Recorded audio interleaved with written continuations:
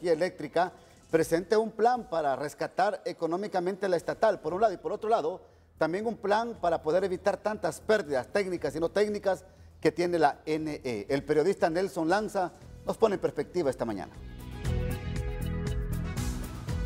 Un plazo de cinco días hábiles le dieron a la interventora de la empresa de energía Honduras, el cual vence el próximo miércoles, para presentar un plan de emergencia que permita reducir las pérdidas y mejorar la recuperación de la ENE, empresa que se encuentra hundida financieramente. Para el analista Mario Zelaya, es necesario que se acelere el paso por la crisis que vive la ENE.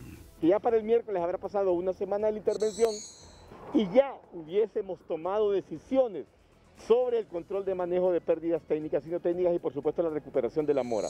Esperamos que ese plan establezca claramente lo que va a pasar mes a mes y los resultados que tendremos dentro de 12 meses para que entonces la sociedad pueda hacer veeduría sobre ese manejo de intervención.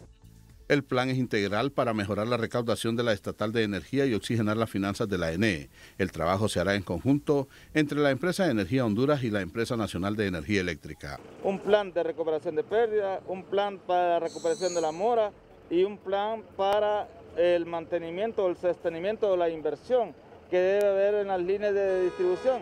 Entonces, ante esta situación, nosotros lo que esperamos es que haya eh, una, un mejor servicio para la población, que no se golpee el pueblo hondureño con el incremento a la tarifa.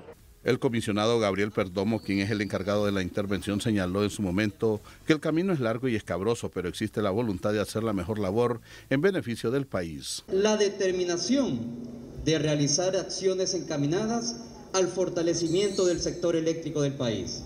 Todas las actividades pertinentes para la gestión comercial atención al cliente, operación y mantenimiento, reducción de pérdidas y todas aquellas necesarias para operar